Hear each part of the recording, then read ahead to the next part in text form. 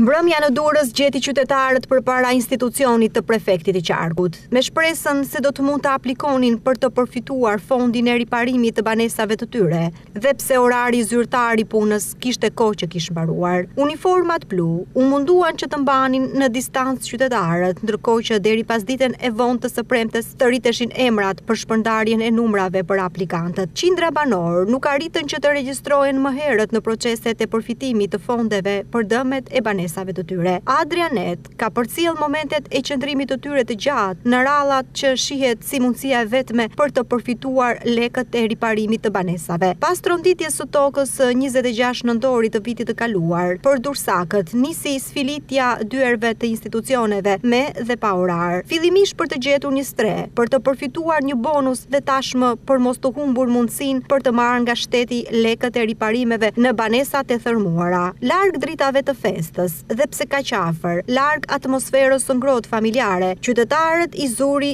mbrëmja në rallë. Në Durrës, ky vit ka qenë tejet i vështirë dhe kështu po mbyllet. Pamjet janë dëshmi e plotë këtij fakti dhe tregojnë se kjo nuk ka nevojë për shumë komente.